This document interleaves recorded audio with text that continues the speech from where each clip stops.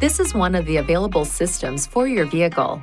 The menu options may vary slightly from the displayed menus. You may connect up to six compatible Bluetooth devices. The connecting procedure varies according to each cellular phone model. To check the compatibility of your device, please visit www.nissanusa.com/bluetooth. To connect a phone to the Bluetooth system, the vehicle must be stationary. Press the menu button, then touch the Connections key. Then touch Add New from the Bluetooth tab. Operate your Bluetooth device as guided by the system to complete the process. If the software on your phone has been updated and you are experiencing difficulties using the Bluetooth system, it may help to delete and then reconnect the phone. To do this, touch Info next to the device in the connection screen. Then touch Delete. Once your device is removed, repeat the connection procedure.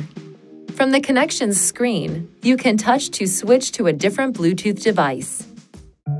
Please see your Nissan Connect Owner's Manual for important safety information, system limitations, and additional operating and feature information.